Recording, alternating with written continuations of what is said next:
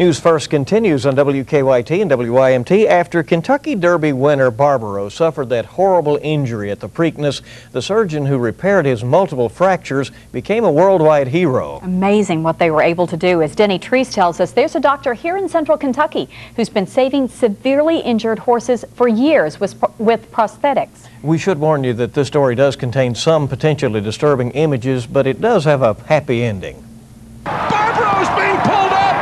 If Barbaro's injuries had resulted in irreversible loss of circulation in that lower limb, the only options would have been euthanasia or amputation. And the latter is where Dr. Rick Redden and his International Center for Equine Podiatry come in. And amputation is becoming a, a very valid option for a lot of people. I really see no reason this can't be done routinely. You can actually make a temporary in about five minutes if you got a good shop. After collaborating on a couple of amputations and prosthetic fittings with the famed Dr. Barrie Grant from Washington State, Dr. Redden took the science even further. I had, a, had enough uh, encouragement from him to, uh, to, to go over the total different procedure, and since then I've done about 40 cases. I mean, we've got six or eight of them out there that are still doing very well. About 10 years ago, Dr. Redden put a prosthesis on a stallion that was then able to continue breeding. Five months after uh, the procedure, he was covering his mares, and to this day, he still covers his mares live. This mare behind me has kind of become the poster child for the new procedure that Dr. Redden developed in 1992. It's been a very revolutionary idea because I now graft a piece of frog from another foot on the same horse onto the stump, and uh, that's given this mare almost 15 years of being pretty happy.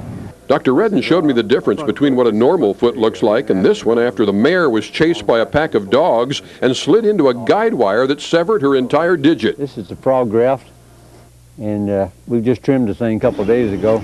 A permanent prosthesis costs anywhere from three to five thousand dollars. The whole process costs a minimum of twenty thousand and can run upwards of a hundred thousand. So the good doctor tells owners if money is an object, they probably shouldn't consider this. But oh, the rewards. The first day I turned her out, she ran harder than any horse on the farm. And probably that was the most uh, exciting time of my whole veterinary career to see this three-legged mare just ripping and tearing through the paddock like a normal horse. Most people see them being just total cripples, you know, and poor little things. But any horse owner who sees this sees the possibilities. If nothing else, just to be happy.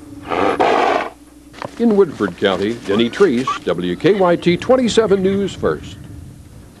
All right, some uh, wonderful work certainly going on there oh, I for know. sure. I love to be able to see that horse, that happy ending Yeah, there, absolutely. galloping off, a great thing. And a happy ending to this day, really. It's a nice evening out there, TG. It has worked out okay. Now.